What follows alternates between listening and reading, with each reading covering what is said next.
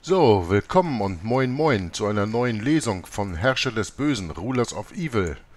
Dieses wird dann bereits der nächste Teil, in dem es um Kapitel 18 und 19 geht. Ich werde mal sehen, wie weit ich genau komme. Ich warte noch auf die weiteren Übersetzungen von Andreas, der sich jetzt an den Rest gemacht hat, bis Kapitel 25 zu übersetzen und habe 18 und 19 vorbereiten können für die nächste Lesung wo ich ja gesagt hatte im letzten Teil, diese Intrige, ein Plan New England mit billigem Tee zu überschwemmen, ist der Gegenstand des nächsten Kapitels. Da geht es um The Stimulating Effects of Tea, also die stimulierenden Effekte des Tees. Also, herzlich willkommen zur nächsten Folge von Herrscher des Bösen. Die East India Company, East India Trading Company, ist ja wahrscheinlich jedem irgendwo ein Begriff war ein bedeutender Unterstützer der jesuitischen Mission zu Peking. Die Jesuiten wiederum setzten bei den orientalischen Monarchen durch, dieser Firma lukrative Handelsvorteile zu sichern, die Monopole, auf Tee, auf Gewürze, auf Salpeter, das man für Sprengstoff gebraucht, Seide und den Welthandel mit Opium beinhalteten. Ja, wir erinnern uns alle an den Opiumkrieg mit China. Ja? Gemäß Reeds Buch Commerce and the Conquest, äh, Commerce and Conquest, The Story of the Honorable East India Company, ich weiß nicht, was an der so ehrbar ist, scheint die Firma ihre bloße Existenz tatsächlich der Gesellschaft Jesu zu verdanken. Wie es dazu kam, ist einen Exkurs wert. Und hier muss ich mal eben einwerfen, dass es natürlich die Jesuiten sind, die im Grunde den Welthandel auch unter sich aufgeteilt haben. Das lesen wir auch wieder in Offenbarung. Und zwar lesen wir ja in Offenbarung 18, Vers 11. Zitat.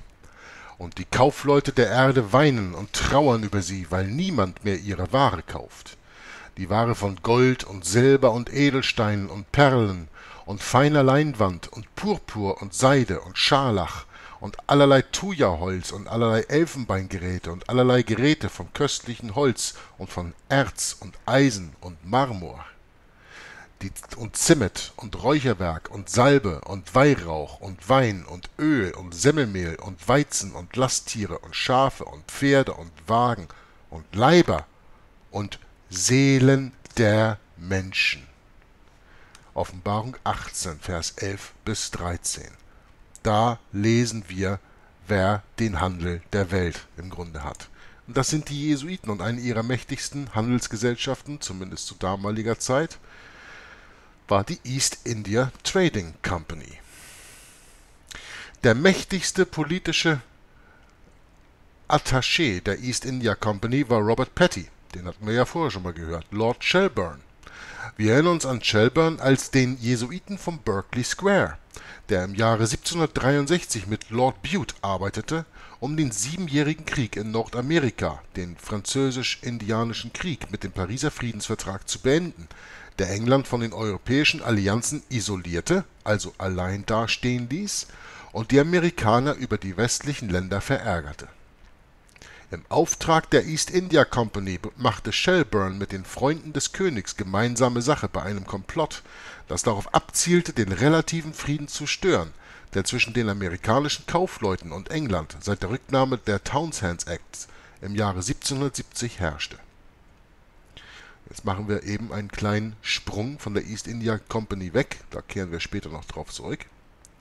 Aber dann, am 21. Juli 1773, so fährt Tapasors hier in dem Buch fort, schaffte Ganganelli, bekannt als Papst Clemens XIV. oder Antichrist, Clemens XIV., die Jesuiten für alle Ewigkeit ab, am 21. Juli 1773.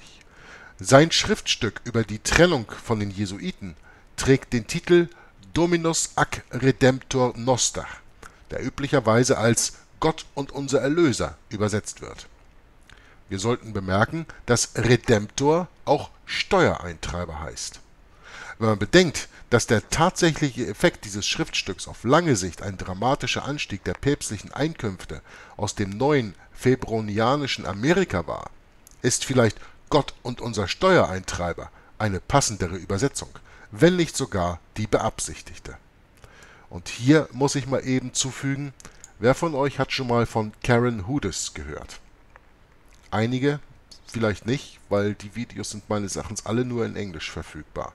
Aber Karen Hudes war eine hohe Mitarbeiterin in der World Bank und ist heutzutage bekannt als eine sogenannte Whistleblowerin, ja, also jemand, der Geheimnisse aus diesen hohen Kreisen verrät. Und Karen Hudes hat bestätigt, was viele schon vermutet hatten, dass 60% der Einkommenssteuer der Amerikaner heutzutage direkt zu dem Jesuitenorden gehen. Und wenn man das weiß und man liest Tapassorsis hier, Tapassorsis Buch hier und versteht, dass diese äh, Bulle Dominus ac Redemptor eben auch als ähm, Gott und unser Steuereintreiber gelesen werden könnte, die Jesuiten als die Steuereintreiber für den Vatikan, dann erscheint das alles in einem modernen, aber doch ganz anderen und viel deutlicherem Licht, als Tapassorsi das hier 1996, als er das Buch wohl beendet hatte ungefähr, beschreiben konnte. Nun, obwohl die katholische Geschichtsschreibung die Auflösung als eine überaus große Tragödie verzeichnet, nannte John Carroll sie zutreffender die Säkularisierung der Gesellschaft Jesu. Das habe ich ja auch schon verschiedene Male angeholt, dass es genau darum ging. Die Gesellschaft Jesu, diesen monastischen Orden, einen militärischen Orden des, der römisch-katholischen Kirche, zu säkularisieren. Tausende Jesuiten machten sich nun einen Namen in der westlichen Welt in den Bereichen Kunst, Wissenschaft und Regierung.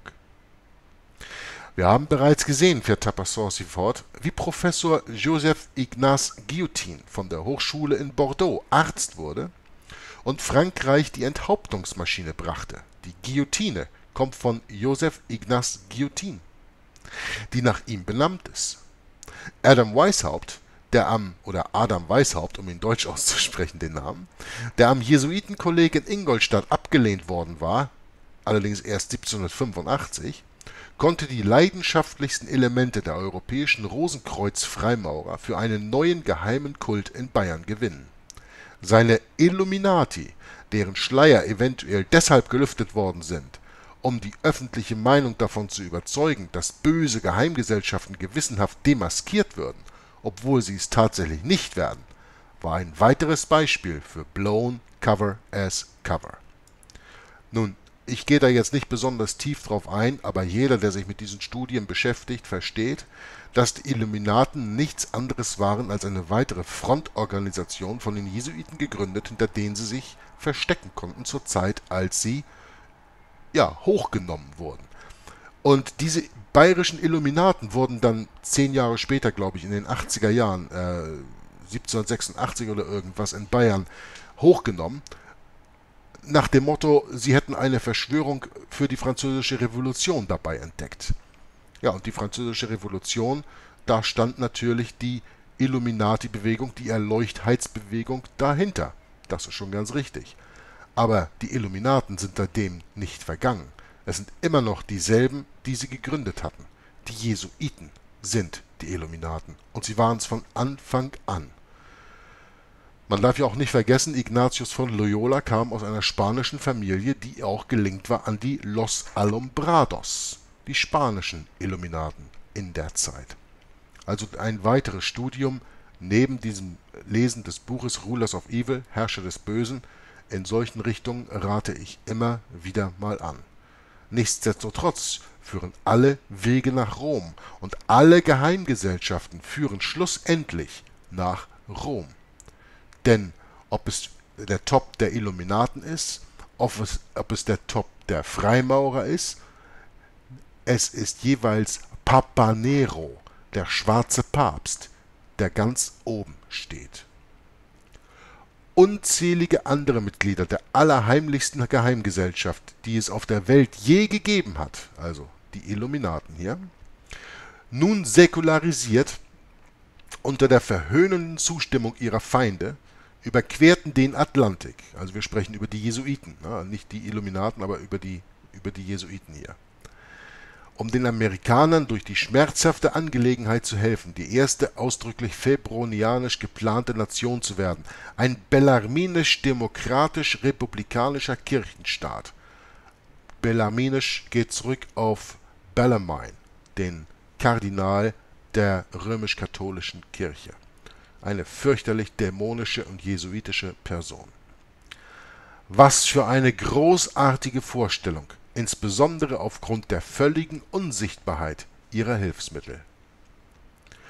Könnte Ritchie zusammen mit Carols Freund Mattingly Pläne für ein Ereignis formuliert haben, das zum Ziel hatte, die angefachten Agitationen auf einen Höhepunkt zu treiben, die seit seinem Generalat im Jahre 1758 angefacht worden waren.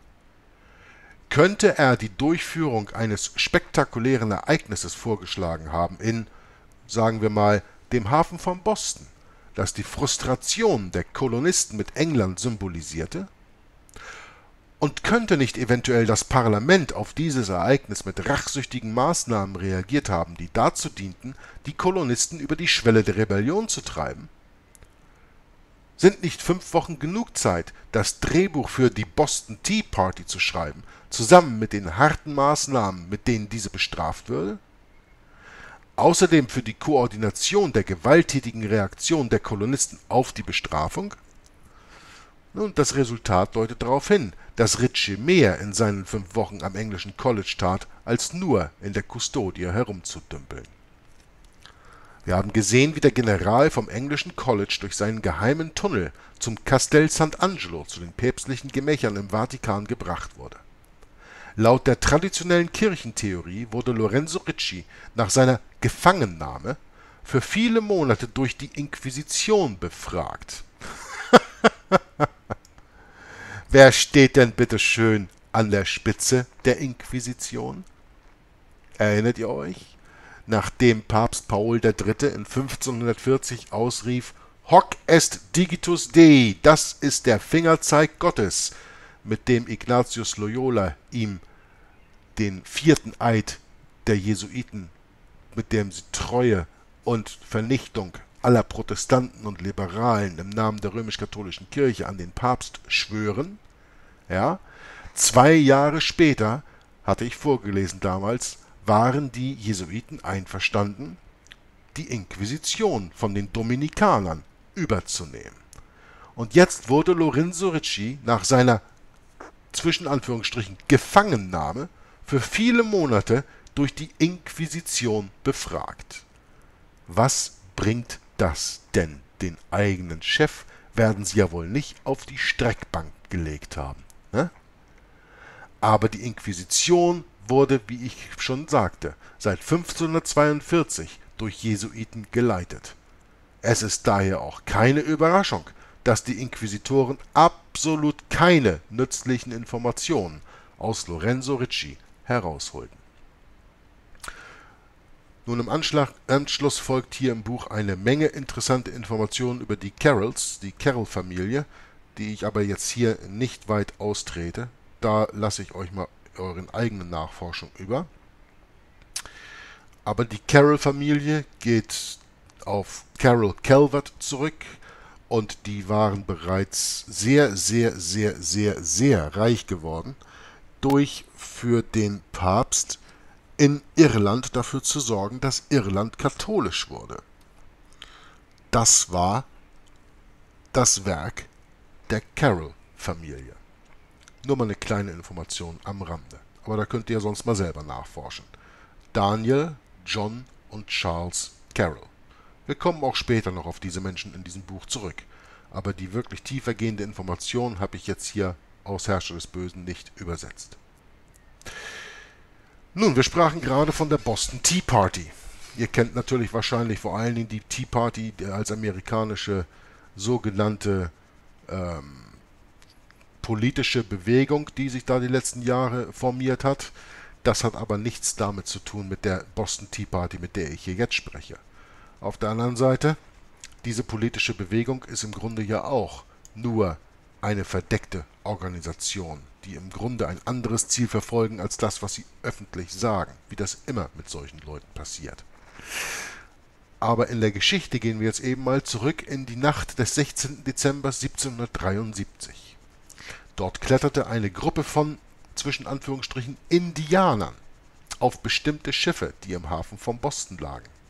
Sie rissen 342 Truhen mit Tee der East India Company auf und warfen ihren Inhalt, der damals 90.000 Dollar wert war, das ist eine ganze Menge in 1773, über Bord. Die Fische konnten jetzt Tee trinken. Nun ja, sie sahen aus wie Indianer und Zeugen dachten, sie wären Indianer, aber das große offene Geheimnis war, dass es sich um Freimaurer in Verkleidung handelte. Und Freimaurer werden geleitet von dem schwarzen Papst. Die vielleicht prägnanteste Aussage über den Vorgang taucht in der New Encyclopedia of Freemasonry vom respektierten Freimaurer-Historiker Arthur Wade auf. Zitat Die Boston Tea Party war vollständig freimaurerisch und wurde während eines vertagten Treffens der Mitglieder der St. John's Loge durchgeführt. Ende Zitat. Jetzt machen wir noch mal eben einen kleinen Ausflug in eine frühere Geschichte. Das Buch geht hier auch wirklich ein bisschen hin und her. Es ist aber im Grunde nicht schwer zu folgen, aber es ist immer interessant, welche Leute man hier kennenlernt. Am 22. November 1633 setzten zwei Schiffe, die Ark und die Dove, also die Arche und die Taube. Was für eine merkwürdige Namensgebung für diese zwei Schiffe, die in London die Segel gesetzt haben, um nach Amerika zu segeln. Die Arche und die Taube. Tja, irgendein biblischer Bezug, den jemand hier vielleicht sieht? Auf der Passagierliste standen drei Jesuiten, 16 bis 20 römisch-katholische Gentlemen und hunderte überwiegend protestantische Sklaven und Arbeiter sowie Cecilius Calverts Bruder Leonard. Leonard Calvert war zum ersten Gouverneur von Maryland, Marialand, ja, da geht es um Maria-Anbetung berufen. Leonard Calvert war zum ersten Gouverneur von Maryland berufen worden. Das war die einzige der 13 amerikanischen Kolonien, die katholisch war. Und die Katholiken hatten damals 25.000 Menschen, die Maryland bevölkerten oder die Amerika, die Kolonien bevölkerten. Und sie machten damit etwas weniger als ein Prozent der totalen kolonialen Bevölkerung aus. Das muss man sich mal auf der Zunge zergehen lassen. Und wenn man dann sieht, in der weiteren Entwicklung, wie wir in dem Buch auch noch sehen werden, wie Amerika mit Katholiken seitdem überflutet wurde, da sieht man, welcher Geist hinter der Idee stand, diese Nation der sogenannten Vereinigten Staaten von Amerika überhaupt zu gründen.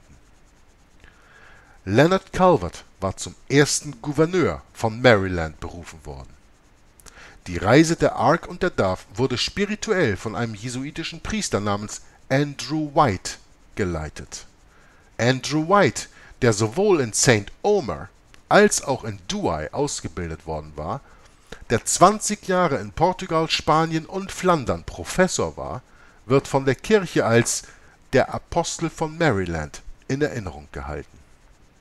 Und dieser jesuitische Andrew White ist der Namensgeber des White House, des Weißen Hauses, das heute immer noch in Washington, D.C. steht. Und übrigens, das Land, wo das White House draufsteht, gehörte einem Carroll. Ich kann euch wirklich empfehlen, das Buch The Ark and the Dove von J. Moss Ives zu lesen. Ich werde hier nicht ins Detail gehen. Das Ziel ist, dass ihr das Buch selber lest, wenn ihr wollt. Ich habe das Buch auch nicht gelesen, auszugsweise, und es ist ein sehr schwieriges, aber auch ein verdammt interessantes Buch. The Ark and the Dove, die Arche und die Taube von J. Moss Ives. Die Strafzeit in Maryland, die sich zur amerikanischen Revolution ausweiten würde, diente dem schwarzen Papsttum vorzüglich, indem es wohlhabende katholische Familien dazu brachte, ihre Söhne über den Atlantik zu schicken, wie zum Beispiel ja passiert mit den drei Carrolls, um das jesuitische Ratio Studiorum in St. Omer zu beginnen. St. Omer liegt heutzutage im Norden von Frankreich, damals Flandern. Tatsächlich besuchten im 18. Jahrhundert mehr Amerikaner St. Omer als Oxford und Cambridge zusammen. Charles Thompson und die Carrolls. Der vollständige Name der Familie ist Carroll Calvert, wie ich ja bereits angeholt hatte. Charles, Daniel und John, zusammen also mit Charles Thompson, verbrachten diese kritischen Tage der Vorbereitung damit, für die Unvermeidbarkeit des Krieges zu werben. Krieg ist unvermeidbar. So kriegt man die Leute immer mit reingezogen. Es gibt keine andere Option.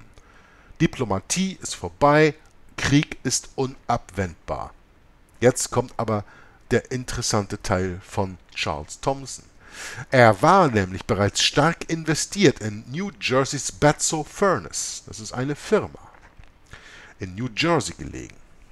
Und diese Firma Batso lieferte Kanonenkugeln, Geschosse, Wasserkocher, Eisenspitzen und Nägel an die Armee über den Kriegskommissar, der alle Exekutivpflichten des Militärdepartements kontrollierte. Der Kriegskommissar war genau der Mann, den Lorenzo Ricci für den Job brauchte. Charles Carroll.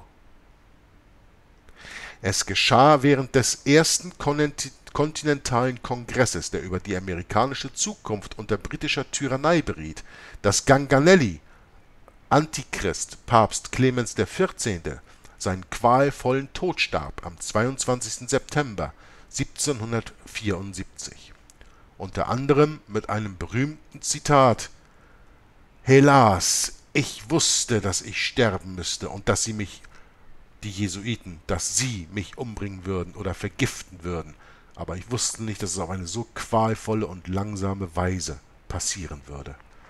Das Zitat könnt ihr euch gerne raussuchen, ist ein ganz berühmtes Zitat, findet man überall im Internet. Nicht in Deutsch, aber in Englisch. Lautet ungefähr so, wie ich gerade vorgelesen habe. Also Antichrist Clemens XIV. starb seinen qualvollen Tod am 22. September 1774. Wenn das Papstamt nicht besetzt ist, so sagt die Neue Katholische Enzyklopädie, geht die Leitung und die Vormundschaft der weltlichen Rechte des Heiligen Stuhls, das heißt seine Geschäftsangelegenheiten, routinemäßig auf den Schatzkammer der Apostolischen Kammer über. Nun der apostolische Schatzmeister in den Tagen von Ganganellis Dahinscheiden war Kardinal Giovanni Braschi. Als ein 57-jähriger Aristokrat verarmter Abstammung war Kardinal Braschi ein glänzendes Produkt der jesuitischen Ausbildungsstätten. Das Ratio Studiorum hatte aus ihm einen ausgezeichneten Rechtsanwalt und Diplomaten gemacht. Das sind ja wunderbare Voraussetzungen, um Papst zu werden. Er war apostolischer Schatzmeister, als Rothschild begann, dem katholischen Fürstentum Hessen-Hannover zu dienen und damit, wie ich bereits im Kapitel 17 ja angeholt hatte, die Rothschilds die Hüter des Vatikanschatzes sind. Diese interessante Tatsache macht es möglich, dass der Kardinal und die Rothschilds bereits Jahre in Ritchies Amerika-Projekt involviert waren Dabei handelt es sich bei Tapassorsi nur um eine Vermutung. Aber was mehr als eine Vermutung ist, ist der Umstand, dass der gesamte finanzielle Reichtum der römisch-katholischen Kirche bis zu dem Zeitpunkt, an dem ein neuer Papst gewählt werden konnte, niemandem anders als Braschi gehörte. Obwohl es an einer formellen Anwartschaft fehlte, würde Kardinal Braschi als eine Art virtueller Pontifex Maximus für eine der längsten Zeiten päplicher Vakanz herrschen, die je aufgezeichnet worden sind. Die Tage der päpstlichen Vakanz, also nach dem Sterben von Clemens XIV., zogen sich hin. 30, 50, 75, 100 und 110 Tage. Schließlich wurde nach fast fünf Monaten der Verwirrung am 15. Februar 1775, am 134. Tag, verkündet, dass Rom einen neuen Papst hat der neue Papst war ein Mann, der beiden Seiten der jesuitischen Frage akzeptabel erschien. Er hatte stillschweigend den Anti-Jesuiten versichert, dass er die Auflösung der Jesuiten fortsetzen würde. Jedoch wussten die Pro-Jesuiten, dass er dieses aufgrund der großen intellektuellen, politischen und auch spirituellen Schulden an die Gesellschaft Jesu sehr zaghaft durchführen würde. Also nicht mit einem Stab aus Eisen. Der neue Papst war bestens qualifiziert für das Papstamt, weil er den Heiligen Stuhl zusammen mit Lorenzo Ricci, dem schwarzen Papst, für die vergangenen 134 Jahr Tage geleitet hatte. Giovanni Braschi. Und Braschi nahm den päpstlichen Namen Papst Pius VI. an. Antichrist Pius VI. Giovanni Braschi. Und nun setzte er die große Lawine in Bewegung. Und über diese Lawine lesen wir in Kapitel 19. Das heißt, der Tod und die Auferstehung von Lorenzo Ricci. Ein sehr interessantes Kapitel. Am 19. November 1775 wurde den Offiziellen im Castel Sant'Angelo folgendes unter Eid dargelegt und von Lorenzo Ricci unterschrieben. Zitat Die Gesellschaft Jesu, die aufgelöst worden ist, bot keinerlei Grund oder Vorwand für ihre Auflösung. Ende Zitat. Diese letzte offizielle Erklärung von Ricci ist ein Meisterstück der geistigen Vorbehalte, denn in der Tat hatte die Gesellschaft keinen Vorwand oder Grund für ihre Auflösung geliefert und Lorenzo Ricci keinen Vorwand oder Grund für seine Inhaftierung vorgelegt. Die Jesuiten, äh, die Jesuiten waren aufgelöst und Ricci verhaftet worden, ohne jegliche Nennung eines Grundes. Ergo, ihre Auflösung für alle Ewigkeit war null und nichtig. Die Resultate sollten diesen Fakt bestätigen. Die Gesellschaft Jesu sollte im Jahr 1814 offiziell wiederhergestellt werden. Da ihre Auflösung von Anfang an ungültig war, musste daraus folgen, dass die Jesuiten eigentlich noch existierten, als die weltgrößte verborgene Miliz Christi, Milice du Christ, MDC. Behaltet das gut, das kommt später in diesem Kapitel noch einmal vor. MDC, Milice du Christ. Nun, mit anderen Worten muss ich da mal eben einfügen. Ich persönlich, Jörg, bin davon überzeugt, dass die ganze Agenda, die Jesuiten offiziell zu verbieten, eine Täuschung war. Und das ist dasselbe wie mit dem Inhaftnehmen des Papstes, des Antichristen 1798 wo in der Bibel geschrieben steht in Offenbarung 13, und ich sah eins seiner Häupter, als wäre es zu Tode verwundet. Es war nicht zu Tode verwundet. Ich sah eines seiner Häupter, als wäre es zum Tode verwundet. Und genau da passt eben diese, dieses Verbieten des Jesuitenordens rein. Und noch eine andere Bemerkung, die ich hier einfügen muss. Wir haben ja gesehen, dass mit der Bulle von Papst Clemens des 14. 14. Ähm, Accredemptor äh, das ich da vorhin vorgelesen hatte, mit der Bulle, das war eine päpstliche Bulle. Diese päpstliche Bulle wird direkt kanonisches Recht und kann nicht zurückgenommen werden. Und trotzdem wurde mit einer erneuten Bulle 1814 durch den neuen Papst damals wurden die Jesuiten wieder in ihre alte Form zurück aufgenommen und ihre, ihr Orden wurde zurück in Arbeit gesetzt in der römisch-katholischen Kirche. Das heißt, der eine Papst überschreibt die Bulle eines anderen. Ein weiterer interessanter Punkt, wo man sehen kann, dass Päpste nicht, wie sie behaupten, unfehlbar sind. Nun, in erster Linie wurden Prinzen, Könige und Kaiser dazu gebracht, die Jesuiten zu verbieten. Das hatten wir ja bereits gesehen. Und als Papst Clemens XIV. die Jesuiten verbannte, dachte die ganze Welt, dass sie jetzt sicher sei. Ey, die Jesuiten sind weg, uns droht keine Gefahr mehr. Was für ein wundervoller Plan. Nun konnte die Gesellschaft wirklich beginnen, säkular zu werden und die säkularen Berufe zu besetzen, ohne verdächtig zu werden, tatsächlich jesuitisch zu sein. Aus demselben Grund gründete der von Jesuiten ausgebildete Adam Weishaupt die Illuminati, wie ich ja bereits angeführt hatte, eine weitere Frontorganisation, hinter der sich die unterdrückten Jesuiten verstecken konnten. Wisst ihr, welches Problem die meisten Menschen haben, wenn sie diese Dinge lesen oder hören? Um Böses zu tun, muss man auch selber bösartig sein. Aber wenn man nicht bösartig ist, kann man auch die Motivation dieser Leute nicht verstehen, aus welchem Grund sie tun, was sie tun und wie sie es tun. Und deshalb reden die meisten Menschen, wenn sie mit bösartigen Dingen konfrontiert, werden, äh, konfrontiert sind, wie alle jene jesuitischen Machenschaften von Verschwörungstheorien, von Märchen, von Ausgedachtem, von Fiktionen, von Gerüchten etc. Sie können schlichtweg nicht verstehen, weil sie sich in ihrem Herzen nicht mit dem Bösen identifizieren können. Deshalb unterdrücken sie das Gehörte, schließen ihre Ohren und Augen und mittels Unwissenheit überzeugen sie sich davon, dass es nicht passiert. Denn wenn es wahr wäre, würden sie ihre gesamte Hoffnung verlieren. Und in diesem Punkt kommt Jesus ins Spiel. Denn wir wissen, dass wir Jesus, die Wahrheit und das Leben auf unserer Seite haben. Und wir öffnen unsere Ohren und Augen für das Böse der Welt und erkennen es so, wie es wirklich ist, auf dass wir es aufdecken können.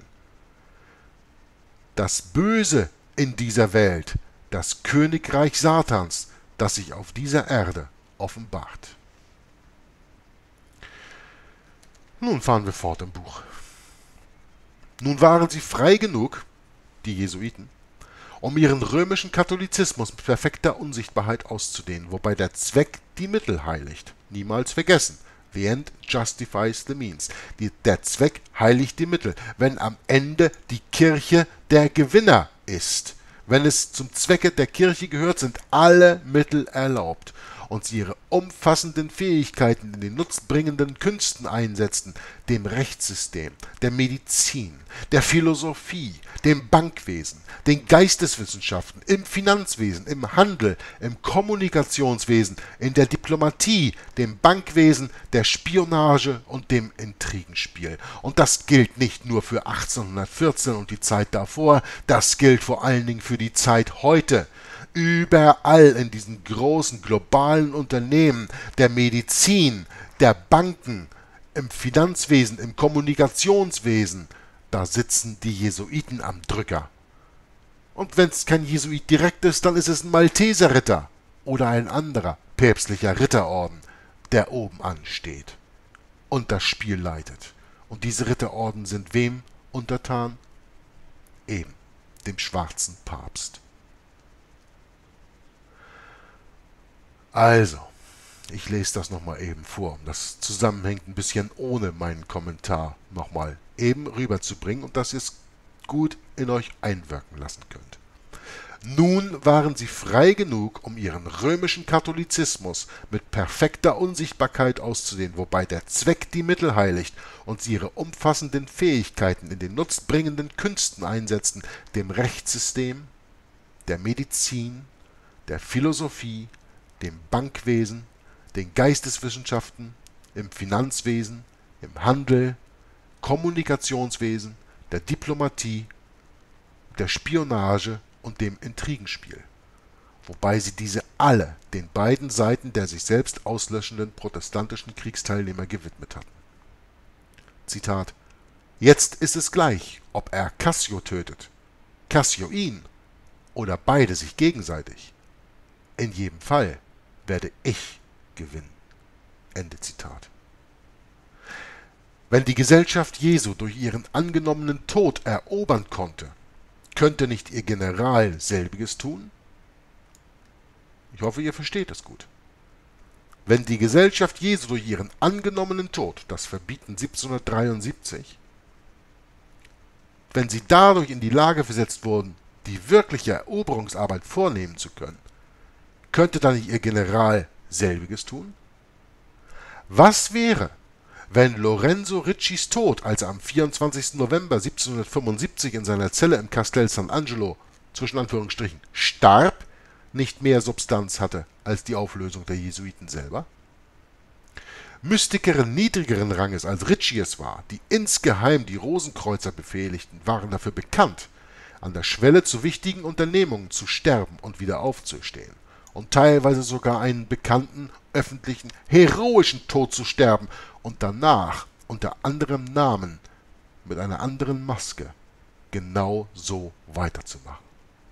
Wenn der General nach Amerika segelte, anstatt aufgebahrt zu sein, dann würde er es nicht als erobernder Held tun, sondern als ein netter, harmloser, namenloser gelehrter alter Mann, der die meiste Zeit mit Lesen verbracht hat. Und während seines Aufenthalts würde irgendjemand unvermeidbar seine subtile Macht über die großen Patrioten beobachten und darüber schreiben. Nun, das war bis jetzt eben vielleicht Vermutung. Aber genau so eine Person wurde beobachtet und über eine solche Person wurde geschrieben. Und wie Tapassorsi fortfährt, von einer Person zu schreiben, die in der Geschichte als der Professor erwähnt wird, gehen wir jetzt weiter in dieses Thema. Aber diesen Zusammenhang zu vertiefen ist an dieser Stelle nicht sinnvoll und es kann nicht das Ziel einer Zusammenfassung sein, das ganze Buch zu übersetzen. Aber Tapassorsi erwähnt an dieser Stelle erstmals und weiterhin auch später den Professor. Und wir kommen auch später noch auf den Professor zu sprechen, aber nicht so tief, wie Tapassorsi das hier macht, weil wie gesagt, es muss ja eine Zusammenfassung des Buches sein. Ich kann Andreas nicht zumuten, das ganze Buch zu übersetzen. Aber jetzt schauen wir mal eben weiter. Jetzt gehen wir nämlich sprechen über das Flaggenkomitee, The Flag Committee. Aber dort fährt Tapassorsi fort. Wo vom Flaggenkomitee zu lesen ist, lernen wir den Professor kennen, indem wir folgendes nachlesen können. Hört gut zu. Um geheim zu halten, dass die Amerikaner unter der privaten Flagge einer internationalen Handelsfirma kämpften, nämlich der East Indian Trading Company, die von Jesuiten kontrolliert wurde, stellte der Professor eine plausible Erklärung als Tarnung bereit, die den Massen diese Flagge verständlich machte. Also der Professor tauchte in diesem Flaggenkomitee auf. Wie es dazu kam, lesen wir ein bisschen später. Ich gehe halt auch in diesem Buch ein wenig hin und her, da müsst ihr Verständnis zu haben. Aber es ist sehr interessant zu lesen, wie der Professor jetzt erklärt, wie sie die amerikanische Flagge gestalten wollen.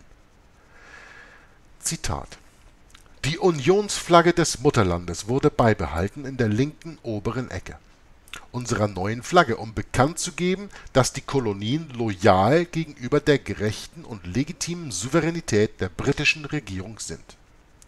Die 13 Streifen sind unmittelbar als Repräsentation der 13 Kolonien zu verstehen, ihre gleiche Breite als Repräsentation des gleichen Ranges, der gleichen Rechte und Verantwortlichkeiten der Kolonien zu verstehen. Die Union der Streifen im Feld der Flagge wird die Union hinsichtlich der Interessen und die gemeinsamen Bemühungen verkünden, die von den Kolonien anerkannt und gemeinsam vorangetrieben werden. Die weißen Streifen werden ein Zeichen dafür sein, dass wir unsere Bedürfnisse als angemessen und vernünftig betrachten und dass wir versuchen werden, unsere Rechte durch friedfertige, intelligente und staatsmännische Mittel zu sichern, wenn diese im Bereich des Möglichen liegen. Da liest man zwischen den Zeilen, wenn das nicht im Bereich des Möglichen ist, dann werden wir nicht friedfertige Mittel auch gebrauchen. Milice du Christ die Kirche im Krieg niemals vergessen. Und die roten Streifen ganz oben und unten auf unserer Flagge werden davon zeugen, dass wir als erstes und letztes und zu jeder Zeit die Entschlossenheit, den Enthusiasmus und die Kraft haben, Gewalt anzuwenden, wann auch immer wir es für nötig halten. Der Wechsel zwischen roten und weißen Streifen wird verkünden, dass unsere Gründe für alle Erfordernisse intelligent und heftig sein werden und dass unsere Gewalt zur Sicherung unserer Rechte angemessen und vernünftig sein wird. Ende Zitat. Nun, was er euch nicht gesagt hat, ist, dass das Wir in dem Text sich auf die römisch-katholische Kirche und den Jesuitenorden bezieht.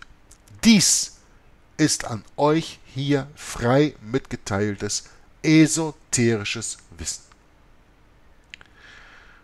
Nun, wenn ihr das Buch gelesen habt, dann erinnert euch vielleicht an einen weiter oben im Text beschriebenen Satz, unten auf der Seite 191. Und da gehen wir jetzt mal eben noch ein bisschen näher auf den Professor ein. Das war bevor das Flaggenkomitee zusammentrat. Zitat. Franklin, den kennt er als amerikanischen Gründungsvater, und der Professor verbrachten den Nachmittag damit, in Cambridge umherzulaufen. Als sie zurückkamen, notierte die Hostess, dass Zitat, beide den erleichterten und selbstbewussten Ausdruck von ernsthaften und entschlossenen Männern hatten, die auf befriedigende Art und Weise ein komplexes Problem gelöst hatten, ein Ausdruck von Siegern, die erfolgreich eine schwierige und gefährliche Situation gemeistert hatten. Ende Zitat. Für mich ist es eindeutig, dass Franklin wusste, wer der Professor war und dass er den Plan des Vatikan und der Jesuiten, die Vereinigten Staaten von Amerika zu gründen, kannte und er sowohl über das esoterische als auch das exoterische Wissen vermute, äh, verfügte. George Washington und Franklin überschütteten die Idee des Professors mit besonderer Zustimmung und unbeschränktem Lob. Das Komitee übernahm formal und einstimmig die Fahne der East India Company, bekannt als The Thirteen Stripes, also die 13 Streifen, als die allgemeine Flagge, die auch von der kolonialen Armee und Marine anerkannt wird. Kurz vor Mitternacht, mit, äh, kurz vor Mitternacht vertagten sie sich. Indem er so anschaulich Zweideutigkeiten gegenüber beiden seiner Feinde äußerte, machte sich der Professor zum Gott der Verwirrung. Jetzt springen wir eben ein paar Seiten weiter und fahren fort unten auf der Seite 198 in dem Buch.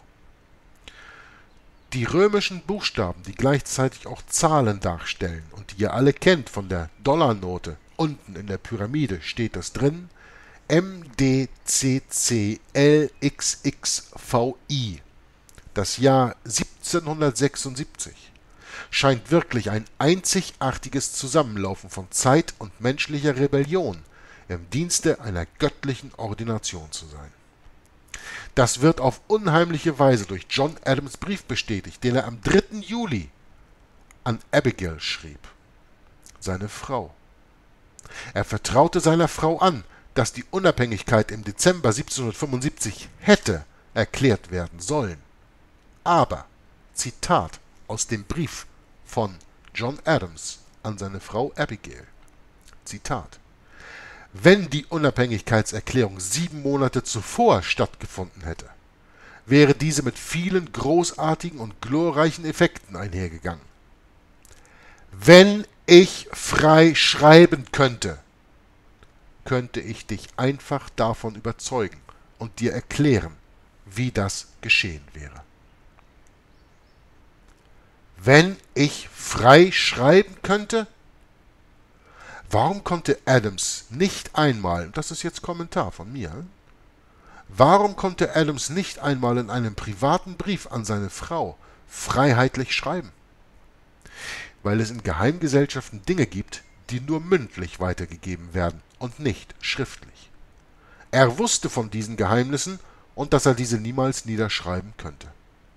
Wenn ihr in diesem Buch über die Kabbala lest, werdet ihr besser verstehen, worum es geht.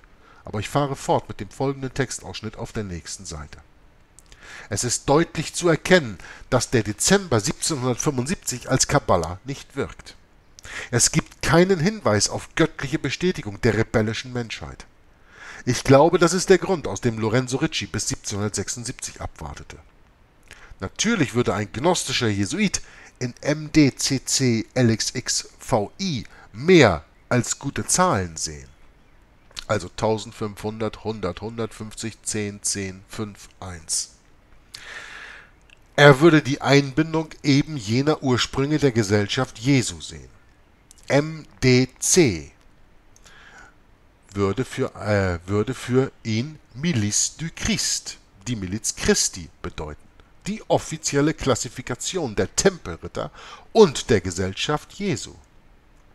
MDC steht außerdem für Medici, den Familiennamen von Papst Leo X., dessen Degeneration Martin Luther dazu provozierte, die protestantische Bewegung zu kreieren, die wiederum das Bedürfnis nach der Gesellschaft Jesu erzeugte. CLX beschreibt die Ära des Ignatius die Historiker seitdem als Jahrhundert von Leo X. bezeichnet haben. Und die letzten drei Zahlen bezeichnen den Namen des Jahrhunderts Leo X., das 16. Jahrhundert.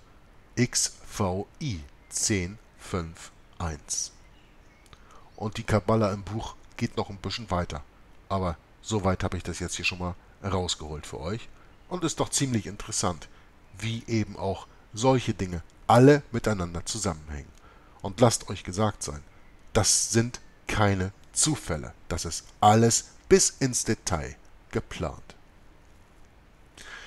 Aber wegen der Bedeutsamkeit dieses Kapitels werde ich jetzt mit einem großen Teilabschnitt der Seiten 199 bis 200 vorfahren. Da wird es wirklich interessant. Sehr interessant.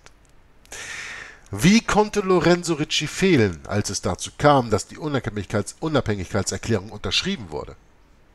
Muss man sich mich fragen, das kann doch nicht. Der arbeitet sein ganzes Generalat von 1758 darauf hin, die Vereinigten Staaten von Amerika zu gründen und dann fehlt er bei der Unterschreibung der Unabhängigkeitserklärung? Ne, niemals. Wie konnte er, der mehr als 17 Jahre für dieses großartige bellaminische äh, für diese großartige bellaminische Atmosphäre gearbeitet hatte, nicht an dem aufregenden Ereignis teilnehmen. Nun, es gibt eine Geschichte, die gewöhnlich im Zusammenhang mit dem Professor und dem Flaggenkomitee, haben wir beide schon besprochen, erzählt wird, die einen weiteren mysteriösen Fremden mit einbezieht, der in der Nacht des 4. Juli unerwartet in der gesetzgebenden Kammer des Old State House in Philadelphia erschien. Der Moment war voller Spannung. Die Entscheidung zur Unabhängigkeit war gefallen, aber das Dokument war noch nicht unterzeichnet. Manchen kamen Zweifel über die Risiken. Der Freimaurerhistoriker Manly P. Hall schreibt, Zitat, es war ein ernsthafter Moment, und nicht wenige der Anwesenden fürchteten, dass ihre Leben das Pfand für ihre Verwegenheit sein würden. Mitten in der Debatte ertönte eine leidenschaftliche Stimme. Die Debattierenden hielten inne und drehten sich nach dem Fremden um. Wer war dieser Mann, der plötzlich in ihrer Mitte auftauchte und sie mit seiner Rhetorik regelrecht durchbohrte? Sie hatten ihn nie zuvor gesehen. Keiner wusste, wann er den Raum betreten hatte, aber seine große Statur und sein blasses Gesicht erfüllten sie mit Ehrfurcht. Seine Stimme erklang mit heiligem Eifer, der Fremde bewegte sie bis in ihre Seelen hinein, seine abschließenden Worte erklangen durch das Gebäude. God has given America to be free. Gott hat Amerika gegeben, frei zu sein. Als der Fremde erschöpft in seinen Stuhl sank, brach wilder Enthusiasmus aus. Ein Name nach dem anderen wurde auf dem Pergament platziert. Die Unabhängigkeitserklärung wurde unterschrieben. Aber wo war der Mann, der die Verwirklichung dieser unsterblichen Aufgabe herbeigeführt hatte, der für einen Moment den Schleier von den Augen der Versammlung nahm und ihnen zumindest einen Teil der großen Absicht offenbarte, zu deren Zweck die Nation konzipiert wurde? Er war verschwunden und wurde weder jemals wiedergesehen noch seine Identität festgestellt. Nun, ich muss euch hierzu eben erklären, wenn man das noch detaillierter lesen möchte, dann muss man das Buch lesen, The Flag of Our Fathers. Da kommt das deutlich hinvor. Und wird eben auch dieser Professor aufgeführt. Kein Zweifel bei jemandem, der seriös seine Recherchen in dieser Richtung betreibt, dass es sich hierbei um Lorenzo Ricci, um den sogenannten verstorbenen General der Jesuiten handelt, der hier auftaucht und seine Unterschrift auf die Unabhängigkeitserklärung mit draufsetzt, ohne es mit Füller zu machen, ohne es mit Tinte zu machen, aber durch seinen Beitrag, durch sein intelligentes Gespräch und seinen Aufruf God has given America to be free. Das ist, wie ein Jesuitengeneral arbeitet. Seid gewarnt. Es handelt sich nur um eine Erzählung, die nicht durch Primärquellen bestätigt werden kann. Wie gesagt, lest das Buch The Flag of Our Fathers, da wird es bestätigt aus mündlichen Überlieferungen. Also nicht schriftlich, das stimmt, aber mündliche Überlieferung. John Adams, der gesprächigste unter allen, unter all den Gestaltern, ließ nicht ein Wort darüber fallen. Aber wir wissen aus Adams eigener Feder, Feder, dass den Unterzeichnern ein Maulkorb verpasst worden war. Erinnert ihr euch? Wenn ich frei schreiben könnte, hatte er Abigail in dem Brief mitgeteilt, der auf den 3. Juli datiert war.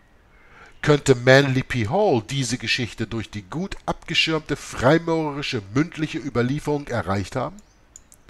Könnte der Fremde, dessen Stimme mit heiligem Eifer erklang, der Professor gewesen sein? Lorenzo Ricci?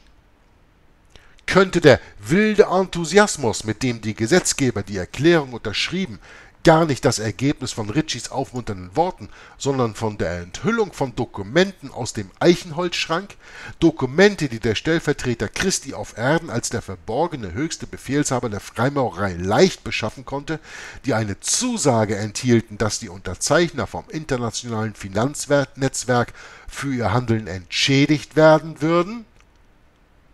Mein Verstand, der über ein wachsendes Wissen darüber verfügt, wie die größten der geheimen Krieger kämpfen, hat kein Problem damit, an diese Version der Geschichte zu glauben.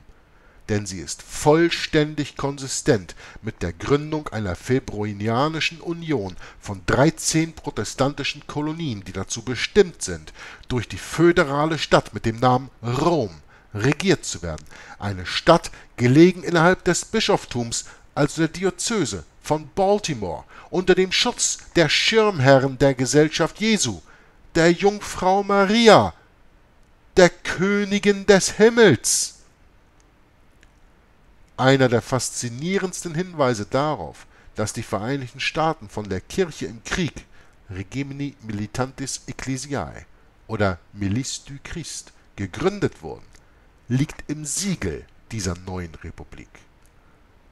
Wie wir im nächsten Kapitel sehen werden, ist das Siegel juristischer Beweis, dass Amerikas Gründungsväter in Wirklichkeit Priester Roms waren. Damit werde ich dann fortfahren in Kapitel 20. Da warte ich noch auf die Übersetzung von Andreas und das wird dann der achte Teil von Herrscher des Bösen, Rulers of Evil sein. Ich hatte mir zu Anfang nicht vorgestellt, dass es so viele Teile geben würde, dieses Buch zusammenzufassen. Und ich weiß, was ich Andreas für eine Arbeit zugemutet habe mit den Zusammenfassungen, die ich ihm geschickt habe, der letzten Kapitel. Aber ich kann nicht darauf warten, euch das alles in Deutsch zu erzählen. Und ich möchte euch darauf hinweisen, dass wir hier zwar amerikanische Geschichte lesen, und wenn ihr diese Lesung gut verfolgt, oder wenn ihr selber des Englischen mächtig seid, und ihr könnt euch das Buch selbst reinziehen, wollte ich gerade sagen. Ihr könnt das Buch selbst lesen, Rulers of Evil. Dann wisst ihr mehr Geschichte als 90% der Amerikaner selber. Aber es geht nicht nur um Amerika. Es geht um die verborgene Arbeitsweise der römisch-katholischen Kirche die sich unter dem spirituellen Mantel verbirgt, die eigentlich immer noch das heidnische, römische, politische Reich ist. Es geht um die politische Arbeit des Vatikan. Es geht um die politische Arbeit, wie die Jesuiten darin involviert sind. Und das, meine Lieben, betrifft uns in Deutschland und betrifft uns in Europa ganz genauso wie hier der Basis der Vereinigten Staaten von Amerika. Und jetzt überlegt euch mal, ihr seht in dieser Lesung der Zusammenfassung des Buches Herrscher des Bösen, wie die Amerikaner beschissen, belogen und betrogen wurden von Anfang an, wie ihnen gelehrt wird, wie ihr Land sozusagen von tollen Protestanten gegründet wurde und alles drum und dran und wie schick und Halleluja und bla bla bla das alles ist. Friede, Freude, Eierkuchen. Und was erzählt man uns in Deutschland? Mehr als Grund genug, sich darum zu kümmern, was sie mit Deutschland gemacht haben nach dem Ende des Ersten Weltkrieges und nach dem Ende des Zweiten Weltkrieges. Und mit welcher Propaganda sie dafür gesorgt haben, dass den Deutschen ein Schuldgefühl aufgedrückt wird, von dem wir heute noch leiden. Lügen, die aufgedeckt werden, wenn man wirkliche Geschichte studiert, wenn man Bücher wie Herrscher des Bösen liest. Und nicht zu vergessen, die Bibel. Immer an erster Stelle daneben. Das Wort Gottes. Weil was auch immer in dieser Welt passiert, uns als Christen sollte das nicht so sehr berühren. Wir wissen, dass unser Heil nicht auf dieser Erde liegt. Denn Jesus sagte schon, mein Königreich ist nicht von dieser Erde. Wäre mein Königreich von dieser Erde, dann würden meine Menschen für mich kämpfen. Aber mein Königreich ist nicht von hier. Und bis er zurückkommt, müssen wir ihm hier die Treue halten. Und wir können ihm leichter die Treue halten, wenn wir unsere Geschichte kennen, wenn wir unsere wirkliche Abstammung kennen, wenn wir wirklich wissen, wo wir herkommen, dann begreifen wir, warum wir hier sind und dann begreifen wir, wohin wir gehen. Und diese wirkliche Geschichtslehre, unter anderem mit dem Buch Herrscher des Bösen, hilft uns, eine klarere, deutlichere, verständnisvollere Sicht auf das Heute zu bekommen. Und auf die letzten, je nachdem wie alt wir sind, 20, 30, 40, 50, 60 Jahre, die wir bereits gelebt haben auf dieser Welt, und die Dinge in ein anderes Licht zu setzen und auf einmal zu verstehen, dass das Ratio Studiorum uns nur ein Theater vorspielt und wir begreifen müssen, dass wir auf die Menschen dahinter Zugriff haben müssen, dass wir hinter die Kulissen schauen müssen und sehen, wer die Fäden an den Puppen äh, an den Puppen zieht, die uns im Fernsehen und sonst überall auf der politischen Bühne und überall sonst vorgesetzt werden. Wenn wir das nicht sehen, dann sind wir verloren, dann verstehen wir gar nichts. Und deswegen ist Geschichtsstudium so wichtig. Jeder sagt immer, ja, Geschichte wiederholt sich, Geschichte wiederholt sich. Aber wenn ich Geschichte nicht kenne, wie kann ich dann die Wiederholung der Geschichte erkennen? Ein bisschen was zum drüber nachdenken. Also, Kapitel 18 und 19, Herrscher des Bösen, hatten wir gesehen. Und ich freue mich auf den nächsten Teil. Und bis dahin wünsche ich euch einen schönen Tag, schöne Tage, schöne Wochen, wie lange es auch immer dauert. Gott schütze und segne euch auf allen euren Wegen. Und vergesst nie, vergesst nie, Jesus ist die Tür. Jesus ist der Weg, die Wahrheit und das Leben. Und niemand kommt zum Vater, außer durch ihn. Das, was hier in diesem Buch gelehrt wird, ist interessantes Wissen. Aber es ist nichts, was uns Erlösung bringt. Erlösung bringt uns nur Jesus Christus. Damit schließe ich ab. Jörg von Hour of the Truth, Stunde der Wahrheit, Joggler66 meldet sich ab. Und bis zum nächsten Mal. Gott schütze euch und segne euch. Bis dann. Tschüss.